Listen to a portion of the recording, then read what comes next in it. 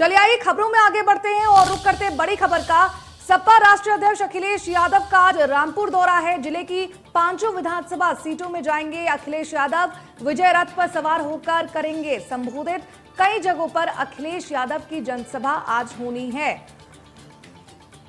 इस वक्त की बड़ी जानकारी हम आप तक पहुँचा रहे हैं किस तरह से कई जगहों पर आज अखिलेश यादव की जनसभाएँ आज होनी है। चुनाव प्रचार करते हुए नज़र आएँगे और ज़िले की पाँचों विधानसभा सीटों पर भी जाएँगे सपा अध्यक्ष अखिलेश यादव। चुनावों से जुड़ी ये बड़ी खबर आपकी टीवी स्क्रीन पर।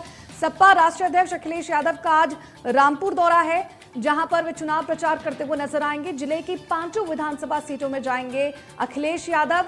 विजय रथ पर सवार होकर संबोधित करते हुए नज़र आएँगे सपा अध्यक्ष अखिलेश यादव। कई जगहों पर अखिलेश यादव की जनसभाएँ भी आज होनी है।